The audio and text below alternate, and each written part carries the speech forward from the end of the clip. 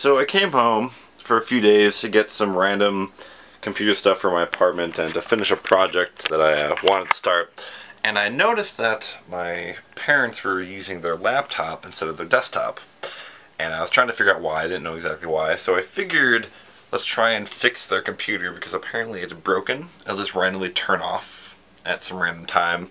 And uh, I have three theories that I'm going to try and fix. I'm going to do all of them at once, trying to rectify and fix an old crappy computer and try and make it a little bit better, uh, make it run a little bit better. So the first uh, thing I had uh, changed on it, I installed a new hard drive. Let's pull it out here. We're running a Western Digital Blue 500 gigabyte hard drive. This should be more than enough for their uh, uses. Um, I actually use the SATA port uh, as opposed to the disk drive, which actually still uses the ribbon. Shows how old this is. I left the old drive in here in case there's any files or anything that need down there, but it's also running Vista, which is terrible. So I installed Windows 7, then a fresh version of Windows 7 installed on here, and I got their basic programs ready for them. Uh, the rest of the computer, you might think, well, that's pretty clean, giving it's uh, several years old. And that's because I did clean it periodically for them. Um, there's just a RAM stick missing, and I just found it. So apparently I took that out at some point. I don't know if it's because it's bad or what, but uh, I'm gonna put that back in there. I do believe that it's possible the processor and or cooler is the reason for the computer randomly shutting down.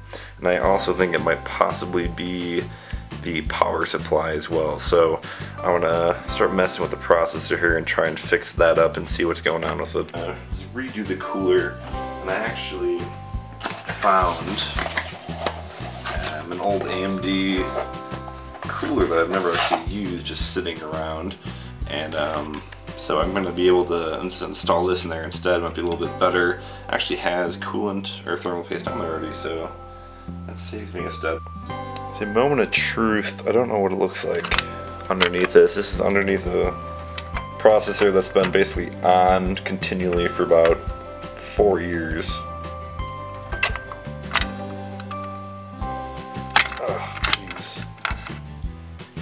I just ripped the processor out with it, so real bad shape. Some type of AMD processor. Let's adjust the focus for you. Try and this off.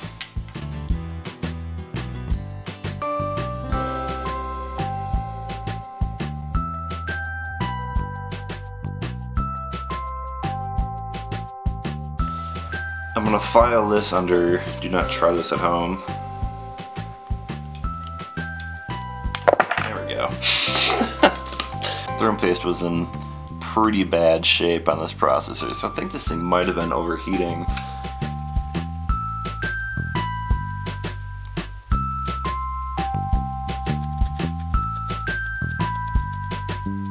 Think that is about as clean as I'm gonna get it. It's definitely a much better looking processor now than what it did look like underneath that. So yeah, this stuff was baked on. Like, usually it's a little moist and kind of can come off pretty easily, but that was that was the worst thermal paste I've ever seen. All right, so I guess we'll try out this new cooler that I was able to pick up. Make sure the fan is clear.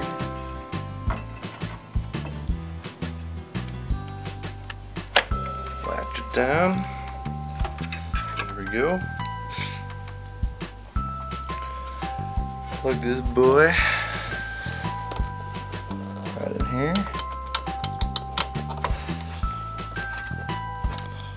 Voila! The new cooler on there. And here she is.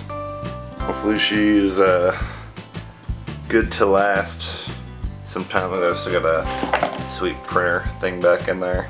Oh yeah, com cable too. Damn straight. Hopefully uh, will last a couple more years anyway.